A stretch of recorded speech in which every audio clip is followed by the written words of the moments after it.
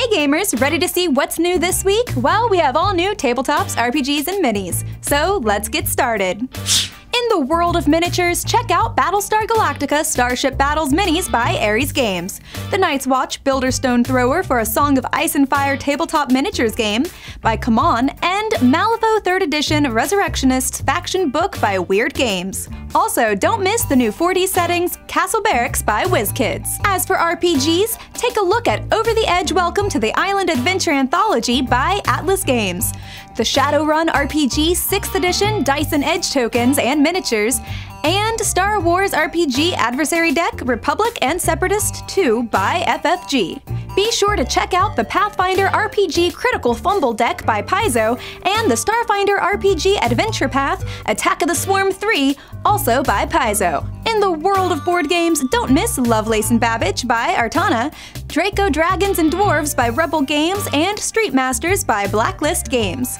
Take a closer look at Volcanic Isle by Arcane Wonders, One Night Ultimate bonus roles by Bezier Games, and Deep Blue by Days of Wonder.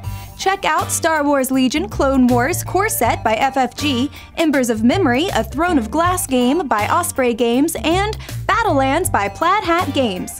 Lastly, ask for Clipcut Parks by Renegade Game Studios and the Black Seas Core Rulebook by Warlord Games. As for accessories, check out the Classic King Athromark III coat of arms, card sleeves, and the Star Wars Outer Rim game mat by FFG, plus the Divinity Original Sin dice set by Q Workshop. Thanks for watching, but tune in next week to see what's new in your friendly local game store.